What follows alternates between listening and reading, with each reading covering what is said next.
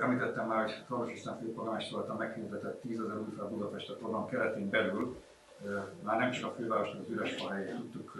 beültetni, hanem már elkezdődött tavaly évben is a kerületekkel egy nagyon szoros együttműködés, és gyakorlatilag körülbelül nagyságrendileg mondom, hogy a 2800 fát azt már a kerületeknek a, a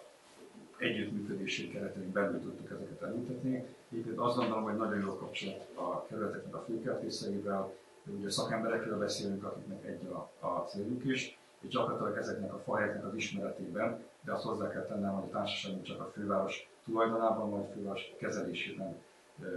lévő területekre tud fát ültetni, tehát kerületi tulajdonban nem szoktunk, de ezeknek az egyeztetésére, az ültetési munkáknak, illetve most már a kaszálási munkáknak és az időben egyeztetéseit a kerületekkel rendszeresen elvégezzük, és azt gondolom, hogy jó kapcsolat. Köszönöm.